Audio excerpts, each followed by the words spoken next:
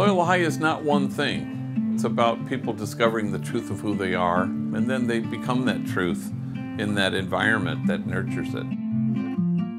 Some of those gifts that Loyola taught to stick with it, to persevere, helped me sustain the ability to get through undergrad and then and then law school, which proved to be quite challenging. There were Jesuits that influenced me, but also lay people that taught me discipline, taught me uh, excitement. Whatever you do, you do it passionately and you do it as well as you can. Loyola High gave me the tools, you know, to move the dial and get us closer to a community of kinship such that God might recognize it.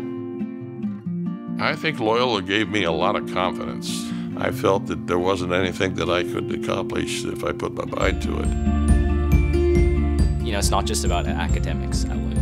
What Loyola strives for is, is its men for others. It's, it's, it's a rounded person, someone that, that can be compassionate but can also be confident and be a leader. Man for Others, I thought, when I first came here to Loyola was just a slogan. But when I first really experienced community service here at Loyola, it really showed me what that truly meant.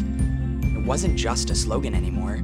It was something that I took to heart and something that I will take to heart for the rest of my life and always remember. It's not a one-dimensional school. It's it supports every type of student, supports every type of person more so. Whether you're the best student, whether you're the best athlete, or whether you're the best drama student, the best writer, you'll find a niche here at Loyola High School because I think the education here tries to give every student the opportunity to be the best he can be at whatever interests him. We bring something to education that truly is unique and that truly is essential as we move forward in the world.